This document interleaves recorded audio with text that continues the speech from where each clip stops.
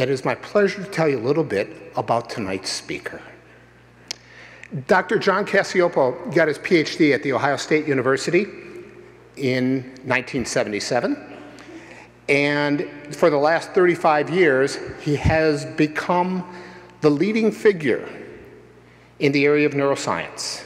He's published hundreds of articles on all topics of the mind body brain relationship, receives countless awards from the National Academy of Sciences, among others. And he has become the primary figure, a leader in neuroscience. During those same 35 years, he has managed to become the leading voice in the area of social psychology, a very different discipline within psychology, which, and, and, and an area that typically has no overlap with the neuroscientists. And again, he has hundreds of articles and dozens of awards, and has become a leading figure in that area as well. Somehow now, in the last few years, he's found some time to combine these two fields into a single unified science, and he'll talk to you about that tonight. And it's a very exciting area to do social neuroscience.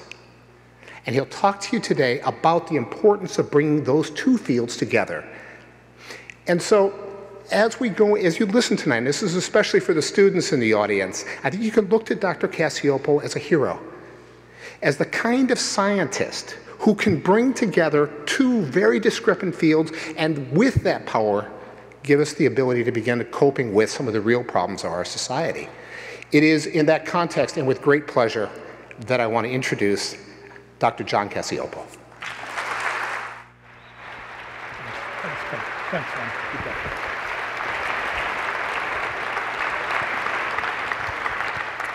Thank you very much. Thank you for the wonderful introduction, Art. I want to thank Terry Bristol, ISEPP, ArtCon, uh, all for their uh, making it possible for me to be here. I'd like to share with you that Portland is one of my favorite cities of the whole world, um, and it's a pleasure to be here. Uh, Linus Pauling would be 111, I believe, this year. He was certainly one of my scientific heroes as I grew up, and I'm sure he was one of yours, so that's an added pleasure to be here. So I'd like for you to go on a journey with me today as we look at what I'm going to describe as a social brain. Uh, everything we experience, everything we see, hear, feel, understand, is a function of the operations of the human brain. So given that premise, I'd like to start with a few facts about this remarkable organ. First, the adult brain is really smaller than you might think. Uh, it weighs about three pounds. It's about five and a half inches wide, six and a half inches long, and about three and a half inches deep. Uh, the total surface area of the cerebral cortex, that barky, convoluted surface area, is about two and a half square feet. It's a remarkable covering, and it's so large only because of all the wrapping, all the convolutions that exist in it, and I'm going to come back to that. Uh, the cell bodies of the neurons vary in diameter from 4 to 100 microns. The human brain has about 100 billion such neurons, each of which typically forms 1,000 to 10,000 connections or synapses, forming approximately 10 to the 14th channels of information transfer. Now, when you think about that, those 10 to the 14th channels of information transfer make an almost infinite number of connections and patterns possible. And that's really what underlies uh, our thought and behavior, our feelings, our desires, our aspirations. Now, the neurosciences have been brought together, it's many different sciences, to study the structure and function of the central nervous system and the brain. This is such a broad question, a challenging enterprise, that there's basic sciences, clinical sciences, and applied sciences. You can kind of break them down into two basic sets. The largest set looks at the structure of the central nervous system and brain, and that can fall into molecular, cellular, or more integrative uh, levels of analysis. There's a second, of course, and that's those that look at the function of the brain and central nervous system. And one of the oldest is behavioral neuroscience, and it looks at basic evolutionary or behavioral phenomena, motivation, homeostasis, sleep, biological rhythms. You see these in human and non-human animals. About 20 years ago, a second perspective, functional perspective, was introduced, and that is cognitive neuroscience. And in cognitive neuroscience, basically you look at the brain as if it were a computer. And as soon as I say that, you realize you start asking different questions. Where's the storage device? Where's RAM? Where's ROM? How big is each? How do they operate? What's the representational system? And so, indeed, you have topics of study like attention, like perception, memory systems, and reasoning. 20 years ago this year, there was a third perspective, functional perspective, that was introduced, and that is social neuroscience. Social neuroscience basically, instead of looking at the brain like an individual solitary computer, you look at it as a mobile, broadband connected device connected to other brains, to other computers. And you, as soon as I say that, you know, you start to ask different kinds of questions. You ask, for instance, where's the Wi Fi card in this? You look at language and you don't think of it as a representational system that allows you to talk to yourself. Instead, you think of it as a means of communicating, as connecting at a distance with other brains. And so, of course, the topics that are of study here, these are just illustrative attachment, attraction, aggression, communication, empathy, theory of mind. I could go on and on. And this is what we're going to focus on. No one of these is better than the other. We need to take all of these perspectives to understand brain function and brain structure. That structure is revealed. The organizations are revealed when you actually start to look at these functions. We talk sometimes about what's directly connected to what inside the brain. The truth is, you don't have to go very many synapses and you have basically the whole brain connected to each other. And so it's important that we use these functional approaches so that we see how are these structures actually connected so that they form functioning wholes. When we look at the, the central nervous system, people talk about the brain, but really what they mean is the brain and the spinal cord because this is our processing organ. We see that it's organized in a, what's called a heterarchical fashion. What is a heterarchy? Well, if I think about stairs, they're a hierarchy. I don't get to the third floor without going through the second. If I think about elevators, similarly, I have stops at every floor, but in some buildings, they have express elevators, right? So I can go to every floor, but I can also just skip. Well, that's a heterarchical organization. And that's how, in fact, the central nervous system is organized. And I'll just give you an illustration. Just at the spinal cord level, you don't need anything beyond uh, three neurons, two synapses, to be able to touch something painful and withdraw your hand from that painful stimulus. Perhaps you've done this. I, am a klutz. I've certainly cooked sometimes. I reach out and I touch the stove, a very hot plate, and I pull back that hand. And as I'm pulling back the hand, I realize what I've done and I think, what an idiotic thing to have done.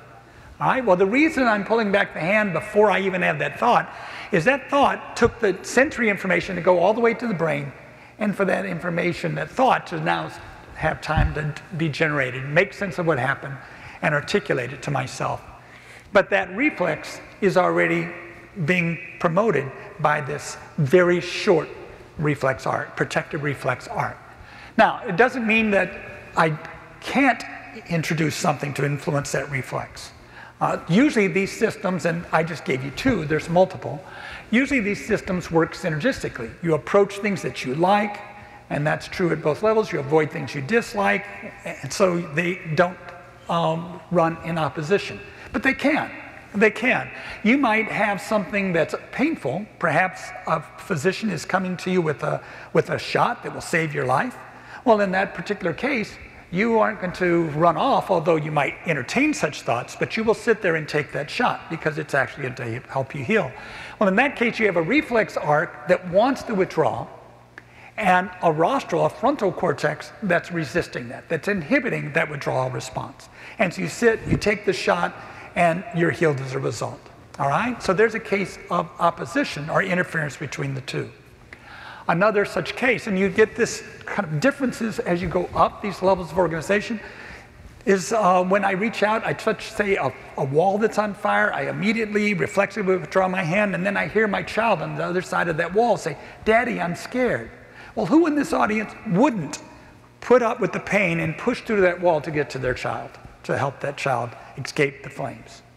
But what the, what the brain can do, the frontal cortex can do, that the spinal cord reflex cannot do, is it looks around and it notices that there's a door that's not on fire that allows you to move through, get behind the wall to the child so that both of you can escape the fire without damage to either. As you go from these caudal lower mechanisms to rostral, higher mechanisms. You get enhanced response flexibility. I can consider what I might do. I don't simply withdraw my hand. You get greater contextual control. If the door is on the left, if the door is on the right, it doesn't matter. I can enter the door to get the child. But it is slower, it's more serial like. So it's this combination of influences that you actually see underlying human behavior. Let me give you an experimental illustration in chimpanzees. This is Sally Boysen. This is, um, that's Bobby. Uh, Bobby was one of the chimps that we use. These chimps are special in the sense that Sally has been working with them for many, many years, and she has taught them Arabic numerals. So they can identify uh, these digits, they know what they mean, they can add, they can do transitive inference. So if I put two plates of candies, these little dots are supposed to illustrate candies, chimps love candies. They would, the chimp would be able to tell you that this represented four and this digit represented two elements in that plate. All right? Now, in this particular study, what we did was to put the plates in front of the chimp. Now, I might tell you that chimps are very powerful animals. So we put them in front of the chimp, but there's also a thick glass between the chimp and the plates. Otherwise, the chimp would simply take all the candies in front of it. Uh, and it has learned to point to the plate, all right? And all the food transfer is through a drawer uh, beneath the glass, all right? So the task here is to point to one of the two, and whatever plate the animal points to, they get the candies in the other plate. It's called the reverse contingency task. It's a kind of evil task that psychologists like to develop, all right? And what we found was that uh, Bobby and all the other chimps, trial after trial, day after day, pointed more often to the large array of candies rather than the small array. Now these numbers varied from one to six, and they varied in which side of the plate and the number, the disparity between the two plates. But the chimp wanted the candies, and again and again, more often than chance, here's the data, pointed to the larger plate. So the chimp continually received the smaller number of candies. I can tell you these chimps were not happy about that and they let us know it. So here we have evidence that the chimps were, were really incredibly stupid, couldn't learn the task, right? No. In fact, what we also saw was order in their data. They made errors, not randomly, but systematically. The larger the plate of candies, the more likely they were to make the error. The bigger the discrepancy between the two plates, the more likely they were to make the error. In fact, when we used that simple rule, we accounted for 94% of the chimp's errors. Any of the psychologists sitting out here, you know that is the highest I have ever been able to predict any primate behavior. All right? It's extraordinarily high. So this chimp was learning something, it couldn't control the behavior. So the next version of the task we did was simple we replaced the plates of candies with Arabic numerals, all right? And we performed the same task. And immediately, the chimps were above chance. This is their average level. Each block is trials within a day, hundreds of trials within a day. Each column within that is a day of training, a day of testing, all right? They immediately were performing above chance. Again, consistent with the notion that these chimps knew the rules. Now, why that difference? Well, if they have the candy there, the biological impulse is so apparent, the stimulus is so salient, it's difficult for that chimp to suppress these limbic or lower regions that are controlling the behavior. When you have a symbolic representation, that distances us. It distances the brain in some ways from what it is that we really want or we're working to achieve. This Las Vegas has figured out. You don't have to work for the amount you're putting into the table or the machines, right? You use chips. They don't even let you use money. You're using chips that are distant, as distant as they can make from what you actually are, are losing while in their abode. All right? And so you see, one of the reasons that symbolic reasoning has evolved is that we, it frees us up from some of these biological impulses that otherwise would be more difficult to control. Now, there's another thing I want to link, and this is where we go back to the brain, is that this symbolic reasoning, this capacity, is directly related to these convolutions in the neocortex. And the notion is that as we go up the phylogenetic tree, especially in mammals, we see more and more complicated brains because more and more neocortical convolutions allow more and more cortical space to be stuffed inside as small cranial vault as, as can be erected. So where did these convolutions come from? What's driving them? Well, the obvious answer is ecological complexity. If I have a demanding environment that makes it hard to identify or find food or uh, to avoid predators, clearly I need a more convoluted neocortex so that I can have as much processing space as possible. There's another possibility, and it is it's not the ecological complexity, it's the social complexity. If you think about what you do on a daily basis that's really hard, really complicated, it's not math, it's not physics, it's dealing with interpersonal relationships. And so, indeed, that was a hypothesis. Robin Dunbar in England posited that. And these are data from Robin's lab. What he shows here is the neocortex ratio. It's basically the ratio of neocortical volume. And remember, neocortex is that cerebral bark on the outside. Okay? It's the ratio of that volume to the volume of the rest of the brain. And he's plotted this by the mean group size in which the animal lives. And what you see both in monkeys and apes, a very striking linear relationship. Now, if you do this for ecological complexity, there's no relationship at all. All right? Now, what is it about social environments that are complicated? Well, let me just list a few. You have to learn by social observation. In fact, one of the things that makes humans distinct from other species is the extent to which we do this. Other primates do this. We do it just tremendously more than any other animal. Recognizing the shifting status of friends and foes. Anticipating and coordinating efforts between two or more individuals.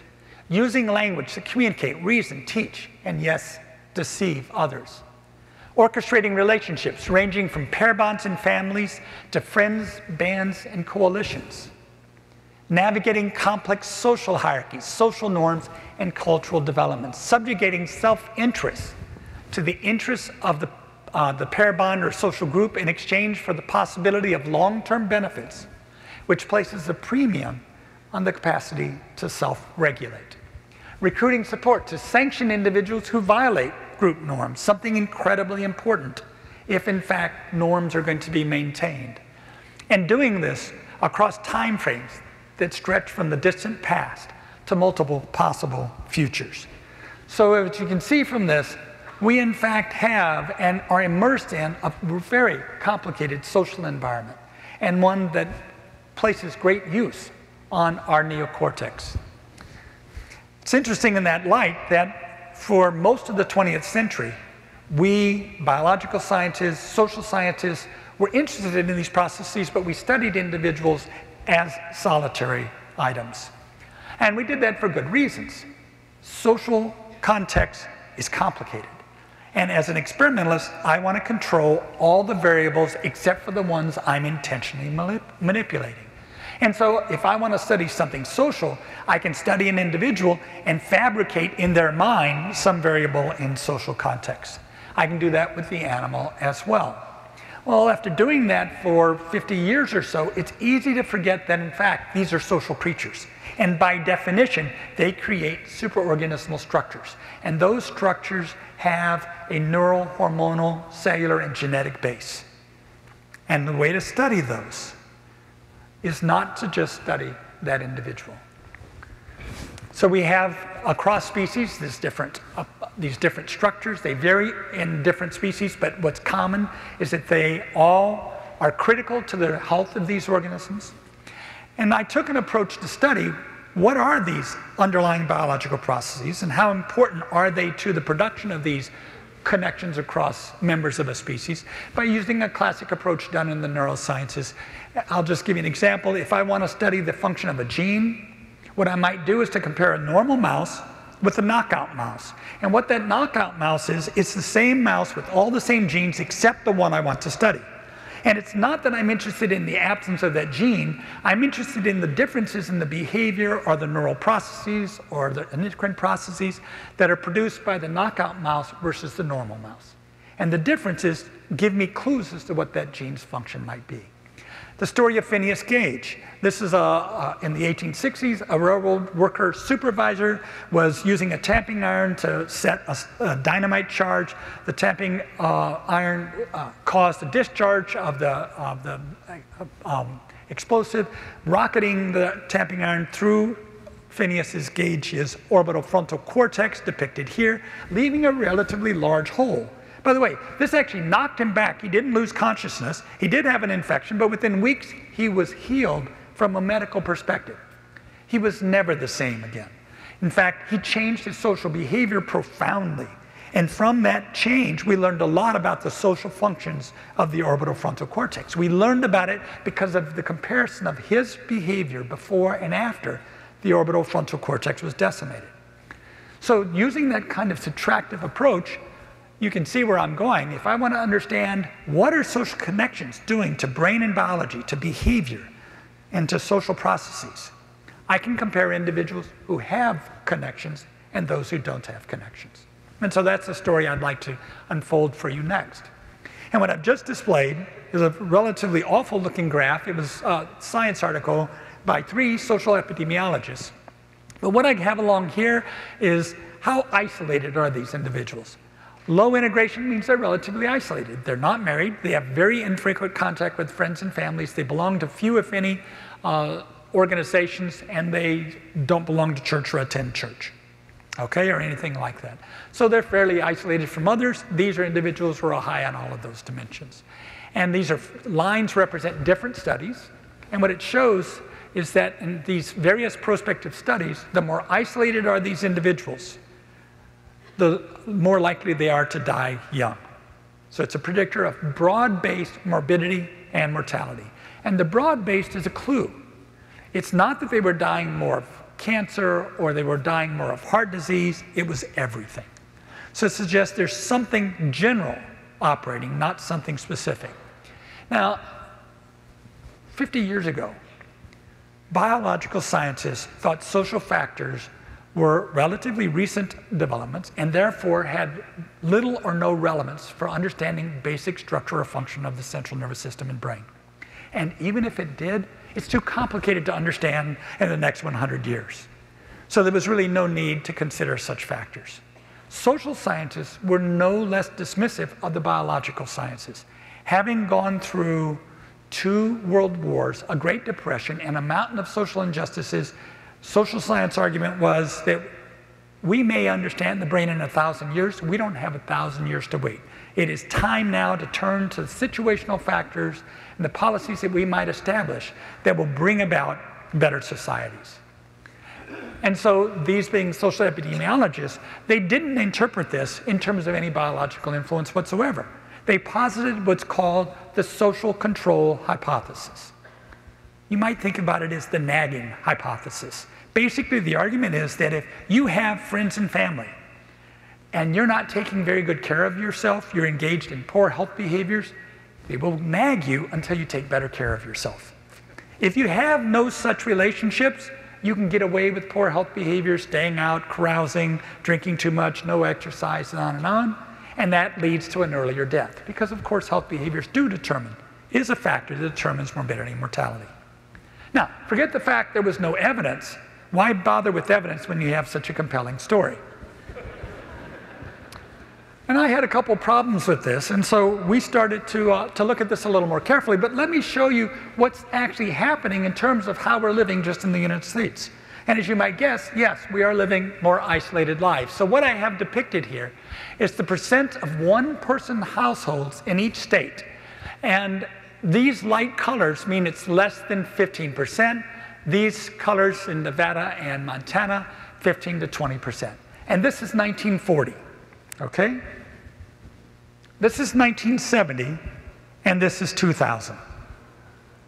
Okay? So we have a dramatic change in the nature in which we're living. Now, not all of this is bad. I would not want to go back to this at the expense of what's accounting for this change. We're living longer. That's a good thing. We're more affluent. It used to be if someone, if a, if a married couple were living together and one died, especially as tends to be the case statistically, it's the husband. In 1940, that wife often had to move back with other family in order to survive. We're more affluent, and so now families or individuals are able to keep their households and live among neighbors and communities that they've grown up with. So not all of this is translating into more uh, isolation as they're feeling, but it is more isolation in terms of how we're actually living. And this objective versus perceived isolation is an important distinction. What I have mapped here in the Chasers is the Chicago Health Aging Social Relations Study. This is a longitudinal study that I began in 2001. It's a random sample of people living in Cook County born between 1935 and 1952, and we bring them into my lab once a year. They bring with them uh, big uh, vats of overnight urine so we can do endocrine assays. They're in my lab the whole day. We test extensively during the day, and then they take home test tubes, and we get salivary cortisol and diaries and other data from them for the days after that. This happens every year, and we're in year 11 now of that study. And this is simply a mapping of how isolated are they and how isolated do they feel. And you can see there's a rough association, but it's anything but perfect. And I'll just give you a single example. There's many such examples, but I'll just give you a single example. When kids leave high school family behind and they go off to college, they actually go from fairly small families, maybe having a room by themselves and having had class sizes of modest uh, size, now going to a university or a college where they're living with more kids, they're perhaps sharing a room for the first time, uh, they eat among a much larger number of kids, and their class sizes are much larger and they feel terribly lonely for the first week or so. They feel isolated. You know, universities know this, they throw mixers. If you've ever been to a mixer, you know, you go there, you see other people talking, and you say, Yes, it's true, I really am the only person here who knows no one. In fact, we, we actually did this study. We asked, What's one of the predictors of how isolated these incoming kids feel? Miles from home turns out to be a significant predictor. All right? And so there's all kinds of reasons why this relationship is anything but linear. And indeed, when we do these studies, we find out that objective isolation, as soon as you put in perceived isolation, that's a much stronger prediction. Objective isolation predicts very little or nothing. And all of the effects about which I'll be speaking, objective isolation has been put in, it doesn't predict anything. The one exception is when you need access to health care and having someone there to actually get you to the doctor or the hospital can make the difference. But think about how often that actually happens, and you can see that it's a very small uh, factor in the whole equation. Now, I might mention the reason we did population based research was because I wanted to understand our nature as humans. I can study extreme groups and find interesting effects, but that doesn't allow me to generalize to who we are as a species. And so that's the reason for the population-based research in Chicago. We've done population-based research in the United States, and we've done this in the Netherlands and now in China. So we're trying to represent uh, the species as well as we can around the world. And the, what I'll be telling you, we find operating in all the venues in which we've been able to test it. Now, you may have heard of the word loneliness. I've already used it when we were doing this research and we were looking, we found perceived isolation to be very important. It became very apparent to us, as quicker than I might want to admit, that we were studying loneliness. Perceived isolation or loneliness is a gnawing chronic disease without redeeming feature was the dominant scientific view when we started this work. It was like depression or shyness or introversion. Right? In fact, all of those turned out to be wrong. Now, don't get me wrong, if I make you feel isolated, you're going to feel shyer. You will be more anxious. You will be more depressed. But they're not the same thing. These are the consequences. When we experimentally manipulate whether you are isolated or not, these things are all consequences rather than causes. The one of the differences between an introvert and an extrovert isn't so much loneliness, it's how many people do they need to feel like they have a relationship with before they no longer feel isolated. An extrovert has more if you will, social needs, more connections are needed for them to feel satisfied than an introvert. Okay, this is just a, a, a partial list of some of the effects we have found uh, from uh, our research on perceived isolation. Uh, higher morbidity mortality, progression of dementia, This was not ours. This was actually another group in Chicago. Increased blood pressure, metabolic syndrome, increased hypothalamic pituitary activity. I'll show you some of those data. Uh, depression and diminished executive functioning. Yes, impulse control becomes more difficult when you feel isolated. So we have the same effects from this perceived isolation as the epidemiologists were talking about. Not, but remember, they argued it was due to health behaviors. Well, there was a second reason why I thought that was a dubious conclusion, and it was this research. When you look at non-human animals, you can do something quite nefarious. You can take them and you can put them in a cage all by themselves instead of a cage with conspecifics right? And you can look at what is the effect of social isolation. We can't do that in humans. So in humans, it really depends on whether they want to be by themselves. And in fact, one of the things we have found is people who are non-lonely, people who are highly connected, know the importance of taking time away from others. So the idea that being alone means you're lonely is something I want to erase from your mind because it will contribute to you becoming lonely. Non-lonely people know the importance of having time to themselves, and that's because social interactions are demanding. And you need that energy, and you have to be able to disengage as well. So what do we find in these kinds of studies? We and others, there's actually a very large literature going back a couple decades now. This is just a sampling, decreases the lifespan in fruit flies due to oxidative stress mechanisms, exacerbates infarct size and decreases post-stroke survival following experimentally induced strokes in mice. Indeed, you experimentally produce a stroke in a mouse that has been individually housed for two weeks prior, or housed with another mouse for two weeks prior, and you look at what damage that experimental infarct does. If it's an isolated mouse, and these are clones, genetically identical mice, when you look, if it's isolated, three times the neural damage. That same experimental infarct creates three times the neural damage, and it's because of inflammation. It's because of a different inflammatory biology inside that animal. Decreases open field activity. Basically, you take a rat and you isolate that rat, or you leave it in a group house condition, and you put it in an open field, and open field is the box. And the box, the animal can walk around. Typically, the rat will walk around the outside, they'll walk around the middle, or back to the outside. Around the walls is the safe area, all right? The middle is dangerous. And so they'll explore, they'll go back to the wall, they'll explore. You isolate the rat, and it walks around the outside wall. It doesn't move in. It's called predator evasion. It's sitting there. It's a, living on the edge as a social animal is dangerous. If you've ever seen a National Geographic film, you know this to be the case, right? And so these animals' brains know this. I'm not saying the animals know this, the brains of these animals know this, and it's operating accordingly in that environment. And so you see some of the others, the cortisol is higher as well. Okay, the third. This is our study. We looked in the Health and Retirement Survey. This is a nationally representative survey done in the United States every two years. And in 2002, we put in a measure of loneliness. In 2008, we looked at how many individuals had died during that interim. Now, this is the health and retirement study, so it's of older adults during that six year period. There will, in fact, be significant numbers of individuals who will have died. And you can see we looked at demographic factors, and indeed, people who are older are more likely to die. That's not a shock to anyone. Men are more likely than women to die. Uh, poor people are more likely to die than rich people. Not a big surprise. These are what we'd expect. There's a large epidemiologic literature saying all of this. Well, it's important to show you that we also take these influences out. All right? And you see up here, loneliness in 2002 is significantly predicting who dies over that period. Well, what if we add in other social behavior, objective social circumstances? Notice it's not predicting anything and it doesn't diminish the prediction of death by loneliness at all. Again, perceived being much more important than objective social environment. What about health behaviors? What if you put those in? Health behaviors are important predictors of morbidity and mortality.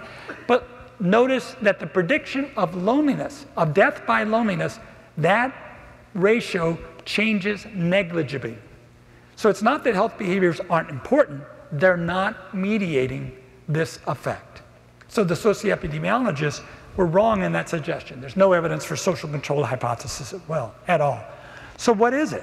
And in fact, you think about the animal data, I don't think the fruit flies are dying earlier because you know, their friends and relatives are telling them to go get exercise. It's, it's something more biologic, right?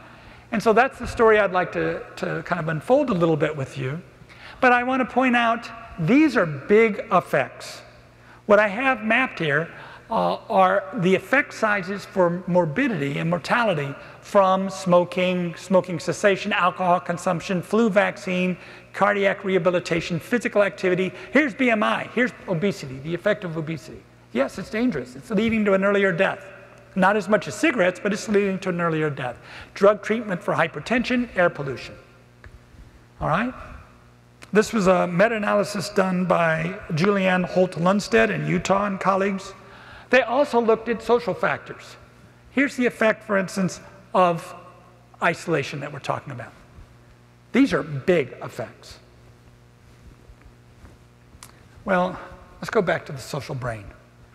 Your brain is tuned for social stimuli. It is a broadband, mobile, connected device. When you show a face or an eye, there's an area of your brain that loves eyes, looks out, searches for eyes, and when it sees eyes or a face, it lights up. Fusiform gyrus, back and bottom of the brain. Bilateral, it's very responsive. In fact, if you show it cars with a grill and headlights, it lights up. it really, it's tuned to detect faces. This is electrophysiology, but basically I'm showing you how much of the brain juices up, if you will, gets excited and, and uh, starts paying attention when you're looking at a novel social stimulus and an equally arousing, uh, complex, uh, and similarly valence non-social stimulus. And what you can see just with your eyes is that the social stimulus, with everything else constant, attracts the brain's energy, attention, a lot more than the non-social. And I can mention that this was true whether you were paying any attention to the social stimulus at all. I was asking in this experiment questions having nothing to do with whether it was a social or non-social stimulus. And in terms of speed, this response starts in about 200 milliseconds. So it's very, very fast. Your brain is doing this without your attention or awareness. Interestingly, if you cooperate, you get activation of the same region of the brain that's involved if you eat a delicious meal, you have sex, or you're doing cocaine. Cooperation also uses that part of the brain. It's very rewarding. There's a recent study published in Journal of Neuroscience of mothers of rat pups, where they had already nursed the rat pup. That mother showed greater activation and a behavioral preference to nurse those rat pups in this area over cocaine. So that's how powerful these connections can be. Down here is just the opposite. This is social pain. When you look at physical pain and social pain, the same areas of your brain are activated. When you feel pained by someone, maybe a child who leaves for college, and you've had the child, cursed that child perhaps over time for 18 years, and now they're leaving, the pain that you feel is represented in the brain as if you had, in fact, been kicked in the stomach including the sensory motor cortices. So we can, if you will, think about your brain along a continuum as its connections to other individuals, other brains flow along that continuum, from feeling isolated to feeling closely bonded to others. And you see all kinds of adjustments in brain activity and in behavior, in mentation. I mentioned that we, in uh, isolation, when the brain's in that state, you get reduced impulse control. The same is true of non-human animals. If you isolate a mouse or rat or a dog, and you look at their ability to control impulsive behavior, in animals we call it prepotent responses, the ability to regulate those prepotent responses is diminished when they're isolated. So we see remarkable consistency across species from these isolated conditions. Interestingly, in humans, if you feel isolated, you also, in the same room, if I ask you what's the temperature of this room right now, and you're sitting there in, an estranged relationship versus a very warm, loving relationship, the ones in the estranged relationship will think it's colder in here. Okay, so what is this perceived isolation? What are these aversive signals about? The pain and dysphoria of social isolation is an aversive biological signal, just like physical pain operating on, in fact, those physical pain systems. and it serves a similar function. Pain, physical pain is not a state I want any of you to be in, but I would never wish on any of you that you didn't have an operating physical pain system. People who do not have a physical pain system don't know when they're doing grave damage to their body. That system produces an aversive reaction that causes you to stop doing something that otherwise would place you in jeopardy. It's a functional system. Hunger, thirst, similar aversive signals that predate early enough the need to get food or water so that you get motivated to go find it so that you can survive. You need others. We are fundamentally social creatures. You need them to survive, to prosper, and for your genes to survive. Without them, you're very unlikely to have a genetic legacy. And social pain acts like physical pain. It protects that social body that is under threat or assault. One of the things it does is to also make you vigilant for assaults that threaten your short term survival, what I called earlier predator evasion in non human animals. And this is a good case in point. If you've ever been the last person picked on a sports team, I certainly have been, uh, or if you felt, you know, if you're sitting, if you're a Blazers fan and you're in the Lakers audience, and you happen to be in the middle of the Lakers fans. I mean, you're around other people, but predator evasion is certainly a relevant concern. You can feel you can feel isolated in that context, and you have to be wary of those around you. I mean, humans predate each other, so that's that's a real concern. And this your brain, whether you know it or not, your brain goes into a protection state, a self-preservational state of, of being. It also, of course, fosters this opportunity for reconnection with others necessary for your survival and your long term survival of your genes. All right? So, what does it feel like? I've told you a little bit about the brain. What is the mind doing? And we probed this, and I noticed I didn't say consciousness. I'm not saying what it is that, you know, if, you, if I asked you, what would you feel about it? But rather, what's the mind doing? So let me give you an example of what I mean. If I wanted to understand the structure, the mental representation of rooms. I might ask you, to describe a room. And you could describe this room, a marvelous room if I've ever seen one. You might describe your study, your living room, your office, your bedroom, who knows? You might study, uh, describe any such room. And analyzing everyone's descriptions, what I would find is that rooms have height, width, depth, and stuff. And the stuff varies. But what's invariant are those three dimensions. That's basically the analysis that we did, looking at how do people, how do minds organize, if you will, represent relationships. And one of the dimensions we found was what we call intimate connection or isolation. These are the kinds of questions that we can ask you that tap this. I lack companionship, I feel left out, I feel isolated from others, I'm unhappy being so withdrawn. Gary Larson always uh, insightful in science, has drawn cartoons that actually capture this. Here you have one where you've got Frankenstein here working with pre-designed couple. Hey, come on now, you two were made for each other. Right? So they're supposed to be connected, and for some reason they're not feeling so much. We looked at what are the predictors of where people fall along this continuum, and what we find is marital status. If you're married, you're more likely to be high on intimate connected than low that spouse is likely to affirm your value as an individual. Now, don't get me wrong. People can be married and not have that kind of connection with that spouse.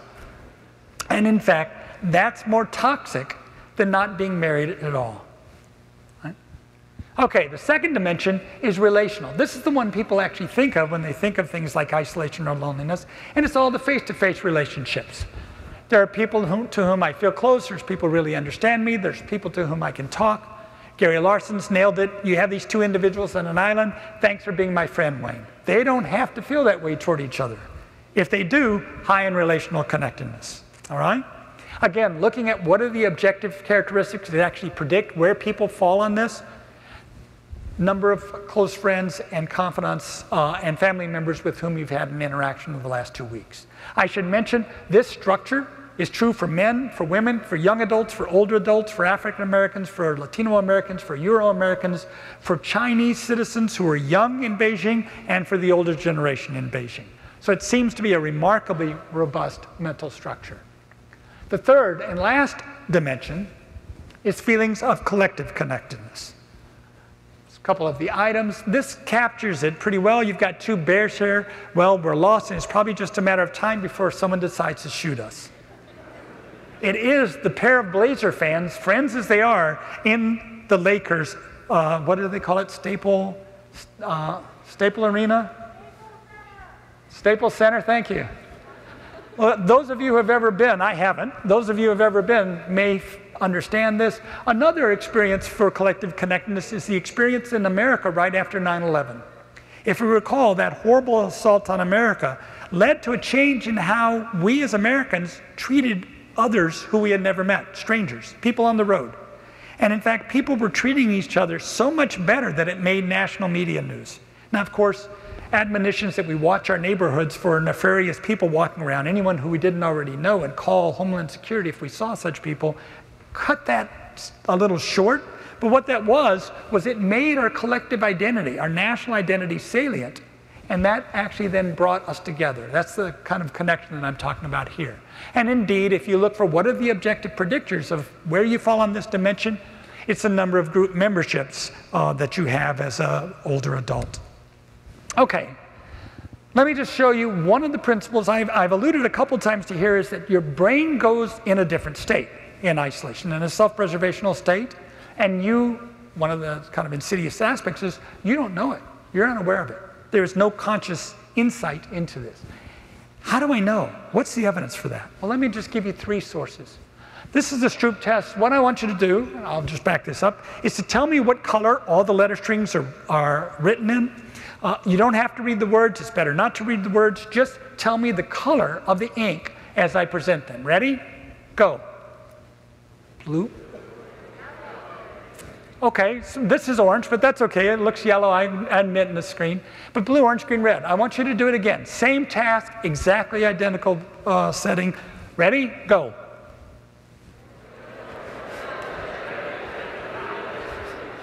Okay, your brain is doing something you don't even want it to do, but you can't stop it. it's reading these words and you're not telling it to. And the only reason I can tell you you now know it is you felt the interference that was produced by that, all right? Well, we use this. We know your brain's going to read the words. Words that really matter, that relate closely to something that's important to your brain, are going to be the words that you're going to get stuck on. And it will be hard for you to name that color. And so we presented a list of words like this. Now, notice we have negative words. Some of them are social, some of them are non social. We have positive words. Some of them are social, some of them are non social. Many such words, equally long, equally frequent in the English language. And of course, we just have people go through and do the task that you just did. And what we find is the lonelier is our participant, the longer it takes them to name the color of the negative social words. Now, we find this whether we bring them in and we measure their loneliness or how isolated they feel, or I experimentally randomly assign them to become lonely or not. And we have nefarious ways of making people feel lonely. Now, we take it away we make them feel lonely, then we take it away before we ever let them go away, right? But if I make you feel lonely temporarily, you get the same interference effect. Your brain is, if you will, in a different state. Well, we've also done brain imaging, and same kind of logic. I'm going to show pictures that are negative, that are non social, animals, but non social, and negative social episodes. Those in the back, this is a man who uh, has a gun in the mouth of another person. All right? And then social and non social positive pictures. Over all the pictures that we use, they're equally pleasant, they're equally arousing, they're equally colorful, they're equally complex. All right? And what we do is to contrast what is your brain doing when looking at this versus this picture, that contrast. I then took that hemodynamic response, that pattern of brain change, and I looked at how that pattern of brain change varied depending on your feeling of loneliness. If your brain is on alert, or excuse me, if your brain is feeling isolated, do we feel, do we see evidence that it's also on alert for social threat? This is what we see. This is the back of the brain, the, that's the front of the brain. Your ears would be on these sides. And these orange spots here show greater activity the lonelier you feel. And what it's showing is that for a negative social and non social picture, the negative social picture is causing greater visual activation. Now, your eyes are doing the same thing, whether you're lonely or non lonely. It's your brain that's doing something different. If it's a negative social picture, your brain is, if you will, extracting more visual information from the arrays going through your eyes than if you're not lonely, if you don't feel isolated. That picture has greater relevance. If you're on the edge of a social group, anything negative in that social setting is a signal to you to be careful. As you follow that visual stream forward, you get to a bilateral area called the temporal parietal junction. And notice it's in blue. This temporal parietal junction is associated with theory of mind, empathy, and perspective taking. It's responsible for enabling you to take your attention outside of the brain in your cranial vault and, at least metaphorically, putting it inside the head of someone you are watching or care about. In this case, this poor person who's being intimidated or threatened by this man, or if you will, someone who might have had an accident in front of you, the non lonely are showing greater activation in that region. To say it differently, if your brain is on alert for social threats, you have a negative social context, you're now concerned about self preservation, somebody else is at risk, you're concerned about self preservation, you take their perspective less. It's not that you can't, it's that you're the one in danger by your brain's assessment of the environment. Right? Now, we did the same thing for positive. The story's quite different.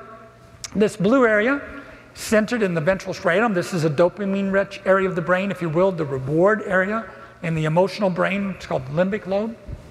And what we see is the less lonely you feel, the greater the reward activity, the joy you show in that brain in response to positive social pictures. If you feel lonely, you say this is just as positive a picture as if you don't feel isolated or lonely. But you don't feel you, you don't feel as positive. Down here, we have experience sampling data that is beeping these people and asking them, are you in a positive or negative social context? How do you feel? What it shows is they're not actually in different circumstances. They believe, they feel they're in different circumstances. So these are the severity of hassles, lonely individuals, the same hassles. We actually know what the events were. They were the same hassles. They were more impactful, more stressful to the lonely than to the non lonely. These are positive events, and happily, we all, in, even lonely individuals, have more positive than negative events. But notice the positive events are felt as being more positive.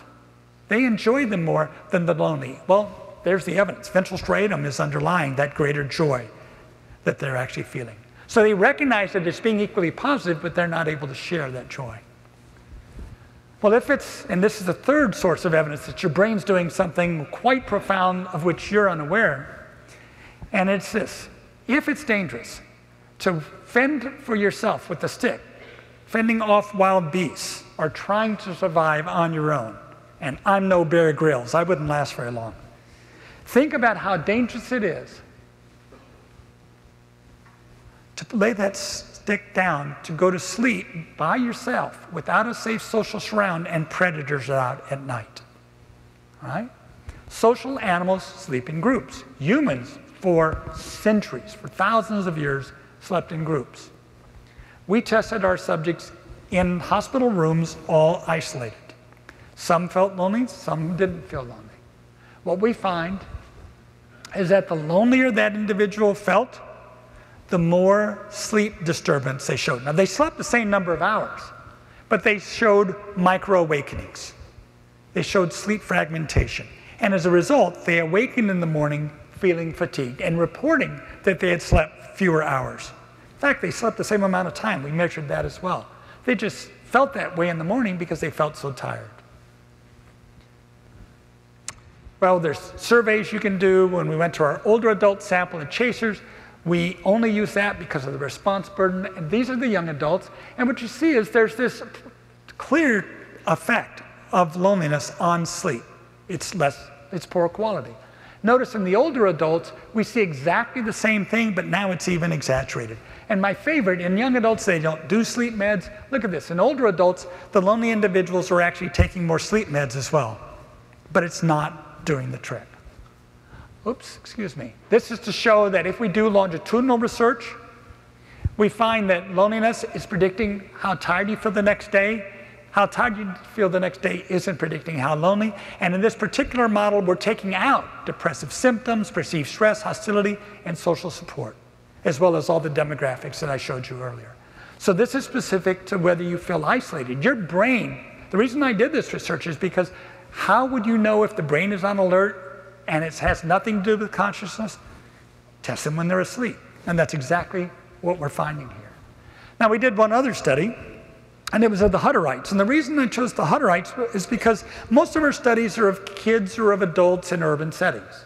The Hutterites do not live in urban settings. This is a, an agrarian religious uh, group who lives in the western United States very isolated uh, communities, and as a group, the lowest levels of loneliness I've seen anywhere in the world. We used wrist actigraphy so we can actually measure sleep fragmentation objectively in this group, as we had in the young adults in a study I showed you earlier. And what we see is that net all these other factors, loneliness is predicting whether they have fragmented sleep. The lonelier, and it, remember, these are low levels of loneliness or very low levels of loneliness. Even that small range, we're able to detect decreased sleep efficiency, increased sleep fragmentation, the lonelier they feel. Well, we're getting a little late, so I'm not going to go through the neuroendocrine results uh, or these genetic results. I'll be happy to answer questions about them. Instead, what I'd like to do is to spend a little more time in Q&A with you, but I'd like to just draw a parallel. 500 years ago, standing on the earth and looking up, it certainly looked like we were the center of the universe. I mean, if you do it today and you look up, it strikes me as all the stars are circling us, right? So one can understand that perspective. But this is from Daniel Boorstin's uh, The Discoverers, a kind of a, a lay history of science book. He observed that nothing could be more obvious that the Earth is stable and the unmoving and that we're at the center. Modern Western science takes its beginning from the denial of this common sense axiom.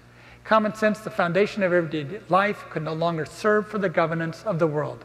When the scientific knowledge, the sophisticated product of complicated instruments and subtle calculations provided unimpeachable truths, things were no longer as they seemed. Well, I draw that parallel because our brain is housed deep within our cranial vault with orbits out front looking out at the rest of our social world. And it certainly seems like we're independent of all that we see moving around us and that we're solitary as an individual. But in fact, our brains and our minds are connected in fundamental ways. And we see this in everyday discourse. And we see it as we look at structure and function inside the brain. And that's something I think that I hope you will, will consider as you go through your daily lives and be curious about the difference between what you think, what you feel, and what your brain is actually doing, and perhaps understand uh, more about why that brain is out there connecting to all the other brains around you. Thank you very much.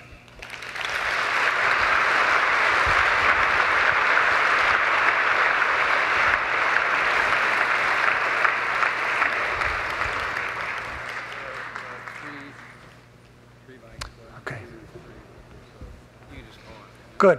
Hi. Hi. Uh, how much human interaction can be replaced by pets and by online uh, social network? Very good question. We've looked at both of those. Um, so we've looked at the pet ownership. Uh, Chicago's an unusual place. Uh, there's a lot of reptiles and, and small mammals there, but there's you know a, a number of uh, dog and cat owners. Uh, I'm going to say something that I'm sure may be disappointing to some. Dogs actually serve as a good substitute.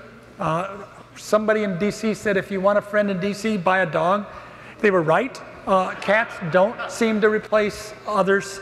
Dogs seem to replace others a little bit. Um, as to the online question, this was a recent article in the Atlantic uh, magazine Uh, and the answer to this is yes and no. Uh, Facebook, social networking sites, computer mediated interactions are a little bit like a car. It's not the car that makes you feel lonely or non lonely, it's how do you use the car. If you use the car to drive to your friends or family, it makes you less lonely. If you use it to drive around just by yourself, it's likely to make you more lonely. We did a study. So, what the, what the literature shows is that uh, the more friends you have on Facebook, the less lonely you are. And that's been used to say we're being connected differently, we're in a new era, and that's going to solve our problems of, of lack of connection and more isolated living. Here's what the data show. You're making those friends offline. You're making them face to face, and when you're on Facebook, you friend them on Facebook. All right? So, what we did was to look at how many interactions, what proportion of your interactions are you having with friends and family face to face? And the more interactions you're having face to face, the less lonely you are. And we asked the same question What's the proportion of your interactions with these people are you having online? On social networking sites, and that's primarily Facebook, on chat rooms, gaming sites, or dating sites. These are the data. All of them, the greater the proportion you're having online, the lonelier you are. It's, it's a little bit like eating celery when you're hungry. It feels good, right? It feels satisfying. It has no nutritional value whatsoever, and ultimately you will starve. So if you're using Facebook as a means of connecting with other people, staying up with your old friends back home so that when you go back home, you haven't severed any of those friendships, it increases. As long as you have those interactions, it increases your connection. When it's used as an excuse not to go out and make new friends, it in fact fosters loneliness. So it's how you use the tool the tool isn't the problem, it's the fact that we sometimes use it wrong. And I think in some ways, technology or the technology fields are just expounding the virtues of technology, but without saying, well, but you've got to use it in a careful fashion or in a productive fashion. There's a way to use it that's counterproductive as well. And so that's what we found uh, in terms of the internet. I think you're next, and then you, and then we'll go back over to you, okay? Go ahead, please. So the U.S. has the largest percentage of its population in prisons, and a fair number of those prisons use um, social isolation as one of the methods yes. for control. Yes. And so I was just curious have you been able to do any research about the effect of those kinds of situations on the human brain and what it means for those who are being released from those um, places and back into supposedly our society? Yes, that's a very good question. The answer to the question, the simple answer is no. Uh, the, the secondary answer is I've asked and was told no. Uh, the third answer is it's a complicated question. In fact, the place that I asked was Colorado because unlike other states, Colorado has a lot of prisoners in solitary confinement. 15% of its prison population is in solitary confinement. That's a very large number. Now, what I didn't bother to show you was loneliness is about 50% heritable. And what's being inherited is not feeling lonely. It's not the feeling of isolation, it's how painful is it when you are disconnected. And just like physical pain, we differ in how painful that social disconnection will be. Some people, it's not very painful. That's good in a sense for a, for a population. You want some individuals who aren't so pained by disconnected that they're willing to go over hills to see what's on the other side, to be explorers. You want some pain for disconnection so they come back. Because if they never bother to come back, the population doesn't learn what's on the other side of that hill. But having a little bit allows you to have explorers among your set. You also want people who are greatly pained because they're the ones who are willing to stand up and defend even against odds because the thought of losing others close to them is even worse as a possible future. All right? So that natural variation is what we see. Just as in anything with natural variation, you have extremes. And I've talked to experts in psychopathy. There's a growing consensus that people in this normal distribution who have no pain at disconnection aren't as likely to be rewarded or pained by those social interactions, then look at others as instruments of behavior, instruments for their own satisfaction. They're psychopaths. And psychopaths are overrepresented in prison populations. And so the, I, it's a little difficult to know what one might expect, and identifying psychopaths is not the easiest task because they're not particularly likely to give you honest answers.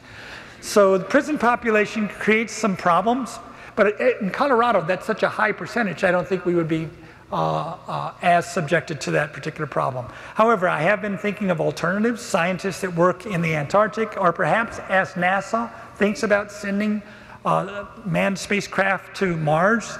Certainly, one of the things you're going to have to deal with is isolation, and so I'm at least starting to think about approaching NASA with, with such a project. There, you'd have healthy astronauts or astronauts to be who would uh, voluntarily go into isolated conditions for long periods. And so that's a possible way to get at that question. Go ahead, please.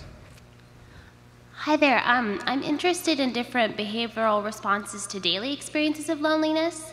And you had just mentioned that um, to those who are more socially connected, the experience of being by oneself is actually quite very healthy. And I'm wondering if um, the experience of solitude can actually be an effective response to loneliness, or if you think for those people who are more connected or they perceive that they have greater support available on one day when they're particularly lonely, yeah. if that experience of solitude could be effective. Well, solitude is the peacefulness and happiness of being alone, and loneliness is the pain of being alone.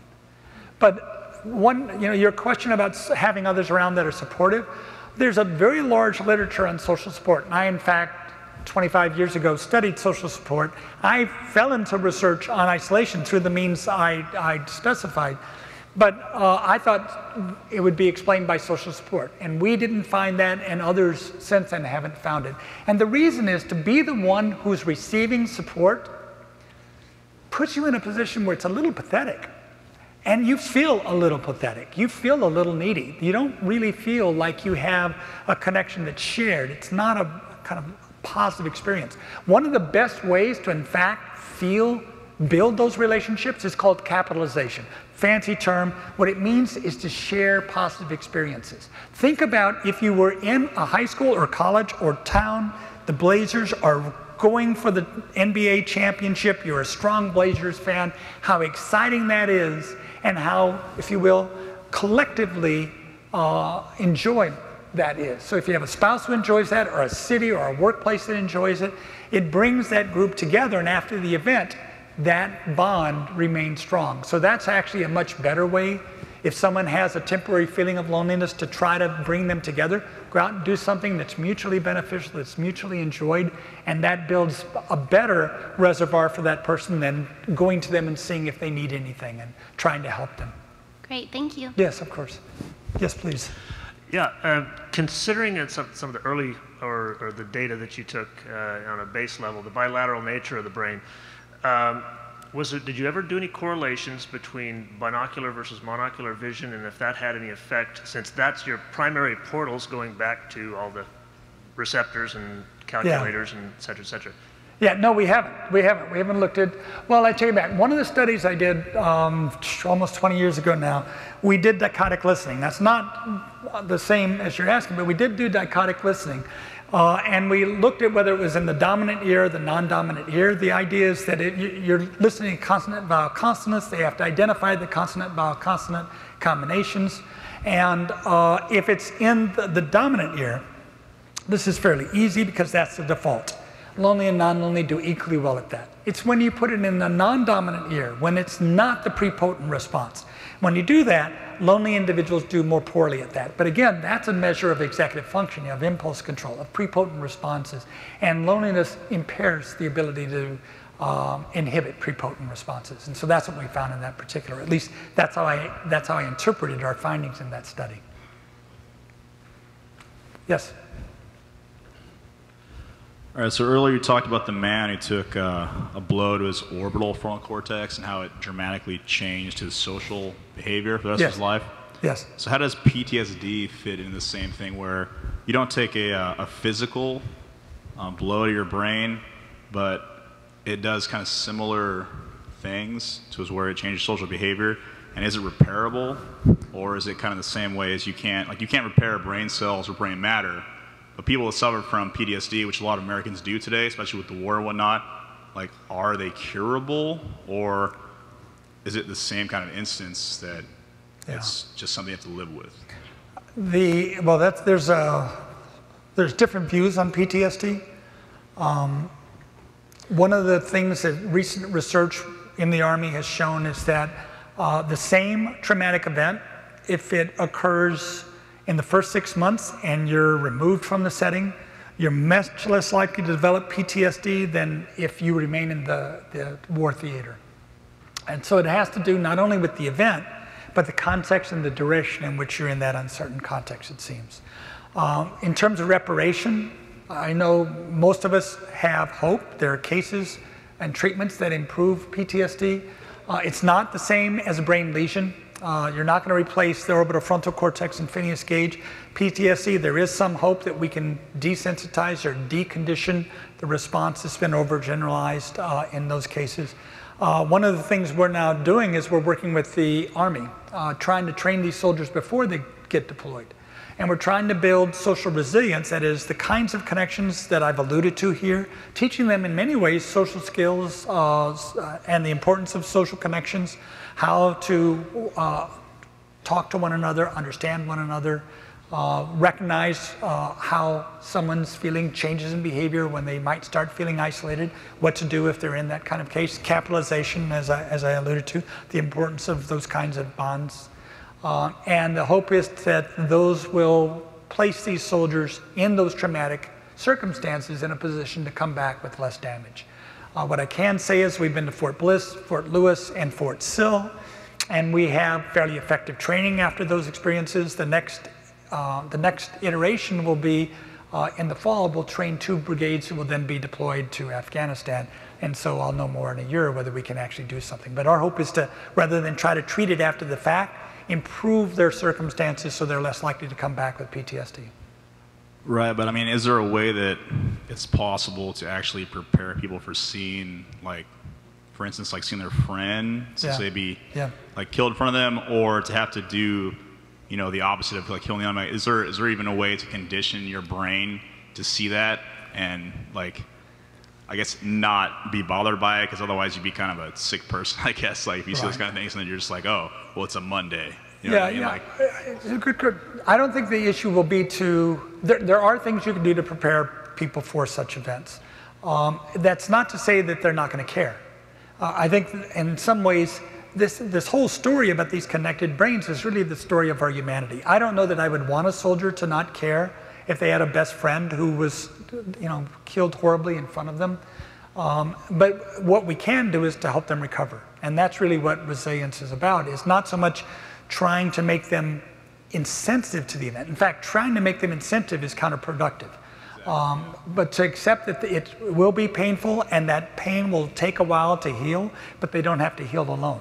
And that's really the important part. Remember as a child when you fell and you looked around and just having a loving parent there helped that pain go away a little more quickly. Now that's simplifying it, but it's somewhere along those lines that it's a very traumatic experience. It's very painful. It's going to take a while. But doing it alone is not as likely to lead to a positive outcome as doing it with the assistance of others. And in fact, the preliminary data say that's the case. But the strong test hasn't been done. That's something we hope to do in the next year or two. Thank you. Yes. Um, have you done these uh, studies on loneliness with people with social disorders such as autism?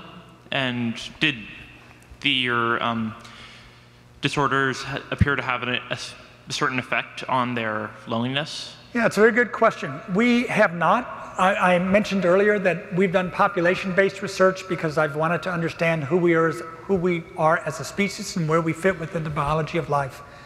However, I have spoken at enough venues where people with uh, autistic spectrum disorder have approached me and talked to me about it. And, you know, it was interesting um, that people with autistic spectrum disorder uh, experience loneliness. Uh, one thing that is true, and I, it was true of the individuals to whom I was speaking, um, eye contact is painful. Eye contact is aversive. And when you don't have eye contact in a normal social interaction, you're missing a lot of cues. And that makes the interaction itself a little uncomfortable for individuals who are used to having eye contact and interacting, which makes it aversive to interact with such individuals, which makes us more likely to treat such individuals in a negative fashion. And that is certainly something picked up by those individuals. And so I asked the individual if there were others with whom he actually had something of a relationship, and he described two other individuals who sounded to be uh, uh, similarly disposed socially. So I think there's some uh, hope to try to bring such individuals together and then try to work through those kinds of interactions. But it's not an area in which I have actually worked.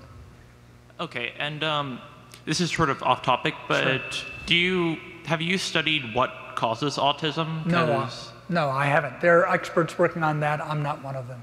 Oh, okay. It is complexly determined, that much we know, but the exact cause is a very hot area of research right now. Thank you. Thank you. So my question is about antisocial behavior and violent behavior. Mm-hmm. And I like to frame it in sort of the age-old question about free will versus determinism. Mm-hmm. We've talked a little bit about damage, or maybe how strokes, um, Alzheimer's, cocaine use could damage someone's brain and change their personality. Mm-hmm. It is said that in the modern day, things that used to be sins, like gluttony and um, um, alcoholism, I mean, you know, gluttony and over drinking are now turned into medical diseases, sort of blamed on um, maybe some genetic predisposition. So in cases like um, Professor Amy Bishop, you know, someone who was denied tenure and erupted in what seemed like very shocking violence, in cases like those, to what extent do you think um, it's antisocial behavior that we could detect if we had you know perfect brain scans, and um, it's antisocial behavior that's caused by physiological changes, and to what extent is that you know do you still think free will and all those things still apply? That's a really complicated question. I mean. and I'm going to give you a relatively, I'll, I'll apologize at, at, the beginning, I'll give you a relatively simple answer. And the reason is because it's such an inviting question. It, it, it's a whole different lecture, and one in which I'd love to engage someday, but tonight's probably not the time. But violent behavior is complexly determined. It doesn't have a single cause. It isn't due to a particular area of the brain. It isn't necessarily due to any damage of the brain. Some violence is from the enjoyment of the individual. They're doing it because it's fun. Sometimes it's because they want something another person has and they need it direly, or at least they feel they need it direly. There's many, sometimes it's because of social pressure. You know, we sometimes drink because we're thirsty. Sometimes we drink because others around us are drinking. So there's biological influences, there's these social influences on aggression, just as there are on simple behaviors like drinking. If we had a perfect brain scan, we wouldn't know what we were looking for. If we knew what we were looking for, it would be these brain anomalies are sufficiently low in base rate that it would be hot, it would be hard to not have a lot of false alarms. That is, we would identify somebody who might be at risk for that, but in fact, we would learn to control it. And so those are all complicated uh, aspects of the question that you've asked. Would we have free will? Well, Patricia Churchland, neurophilosopher, has argued that we have no free will. It's just a perception of free will. But even though we don't have free will, that we have to hold individuals who engage in antisocial behavior responsible because if we didn't, then all of society would crumble. And although I actually disagree with her on the first part of that statement, I do agree with her on the second part.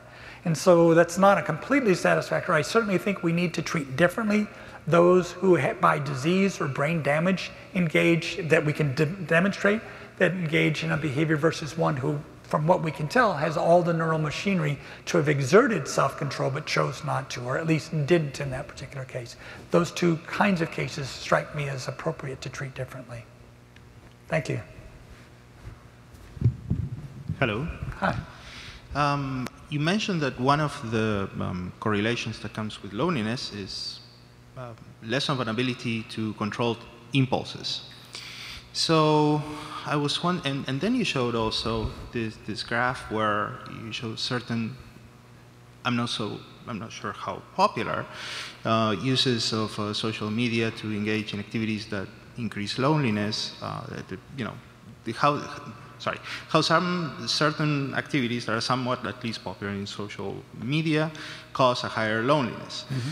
So um, I was wondering if you have any comments as to how those two fit, fit together with the introduction of ads in that context, and also if um, you're aware of some other examples of activities we typically engage in that drive up loneliness but are not as obvious to the casual observer. Thank you. Sure. The, um, let's see if I can pull this back up. So notice that some users of Facebook down here are, are not lonely as a result of using Facebook, right? So the question is, why are these people using it so much? And in, at least in some of these cases, this isn't our research, it's the research of some others, some individuals, when they get lonely, uh, have had bad experiences socially, and so they become distrustful, and they find, I'm not going to go out and exert the effort to meet people anymore, it always goes bad. Instead, I'll sit in a safe distance behind my computer and have those interactions. That's the kind of eating celery. It feels better than the imagined alternative. And you know, they're not going to overcome their feeling of isolation with that. And one of the other things that we find is as they start to present themselves, behind the computer, you don't have to present an authentic self. Uh, evidently, if you're CEO at Yahoo, you don't have to present an authentic self.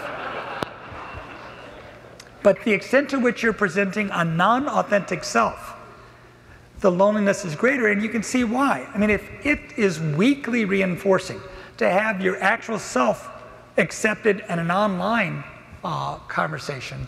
Imagine how pathetic it is to not feel like you can present your honest self, but instead you have to present some false self uh, to get that kind of positive interaction.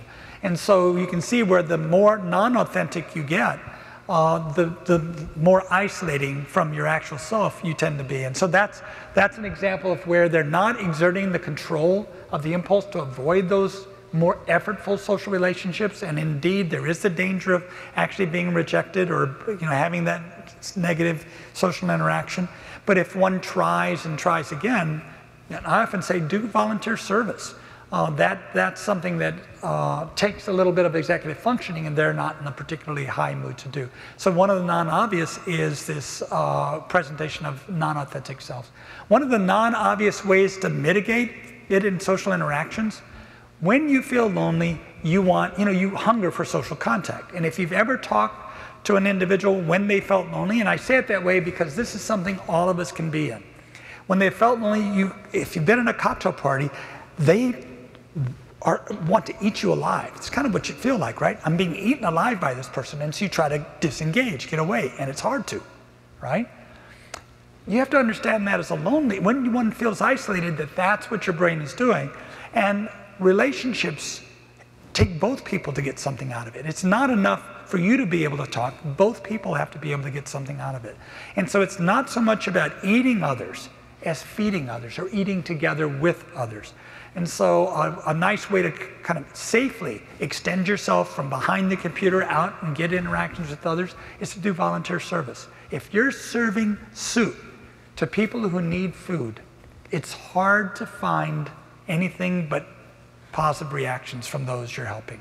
And that kind of activity starts to, if you will, remove this, the brain's wariness about the interactions always going bad. And so that's kind of a non-obvious mitigator, if you will. Thank you.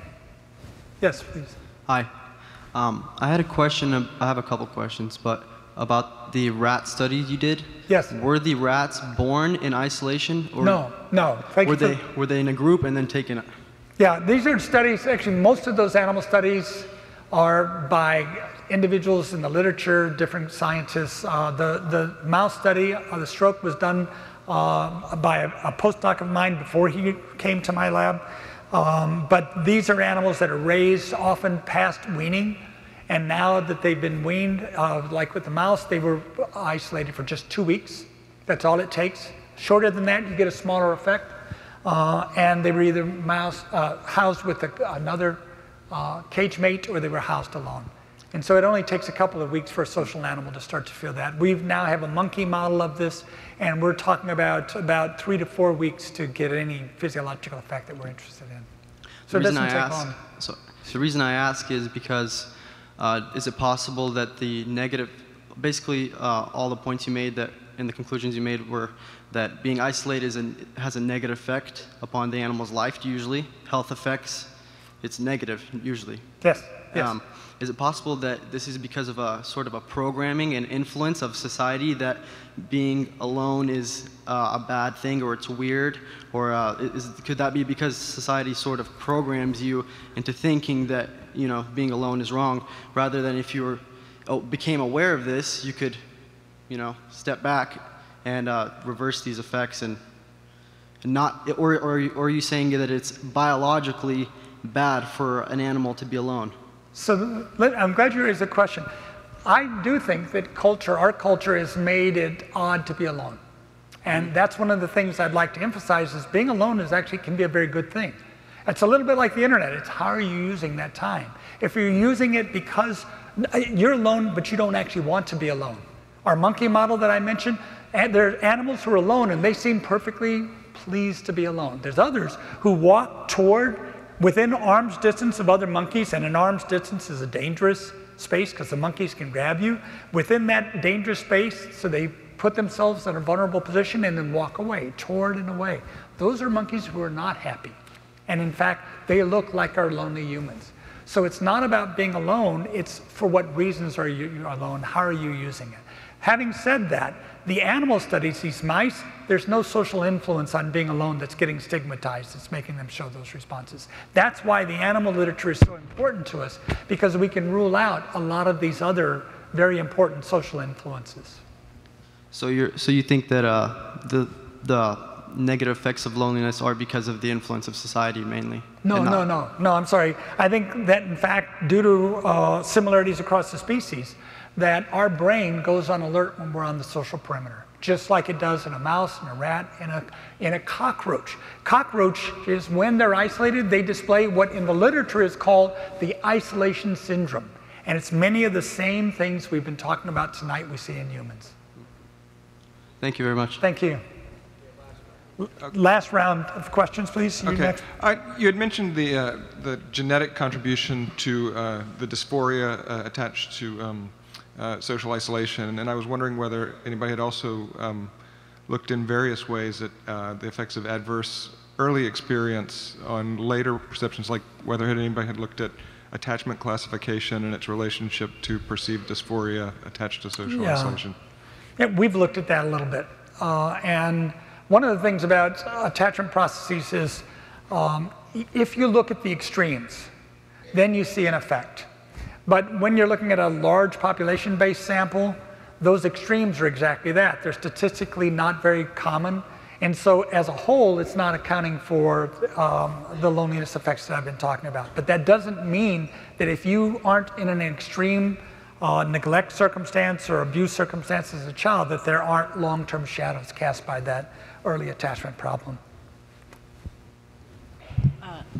You, you mentioned that you've done this research with a lot of different groups in, you know, Beijing and this rural community and, and these different places, and I wonder if uh, there's been any accounting for the type of work that people do, not in the sense of, you know, whether whether they work alone or in groups, but rather the the uh, extent to which their labor is connected to the, the product of the labor uh, and how that has affected perceived loneliness. Yeah, what we have, that's a good question. What we have looked at is socioeconomic status, income, educational level, uh, not occupation per se, but those other factors. And what we find is that it's surprisingly not related to, to loneliness or felt isolation.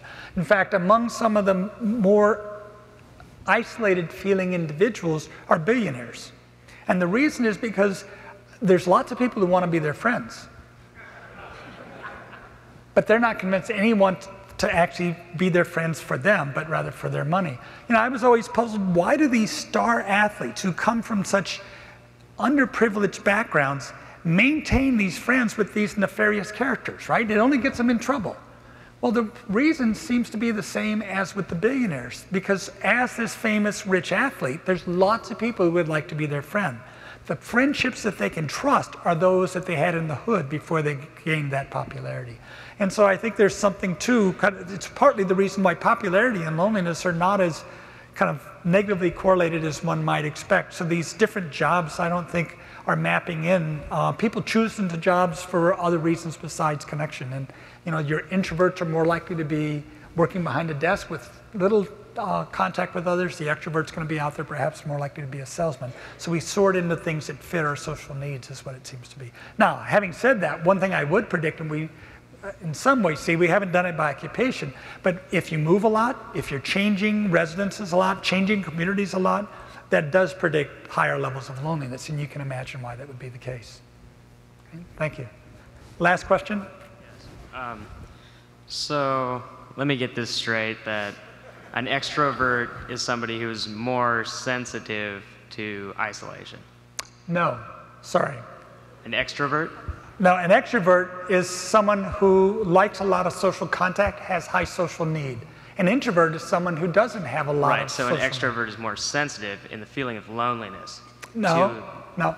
Because they have a lot of social need, they, they want a lot of friends, but they're out there making a lot of friends as well.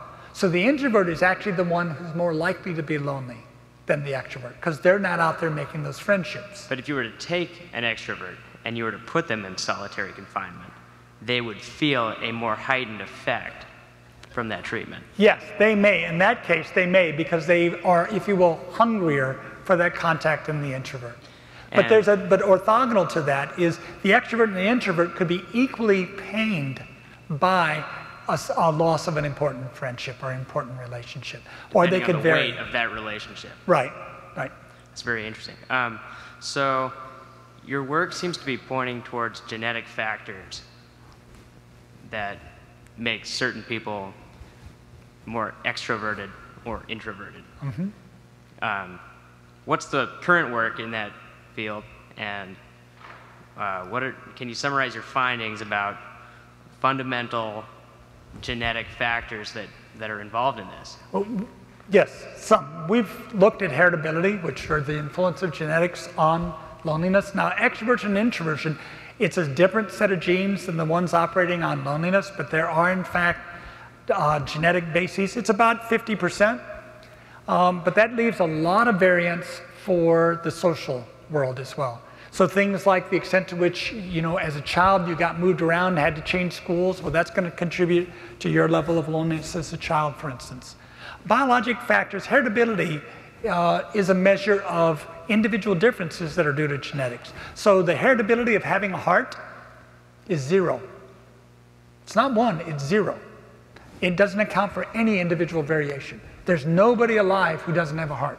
They may metaphorically not have a heart, but they all actually have a heart. All right? And so that's you know, heritability and the genetic influences can vary depending on uh, the context.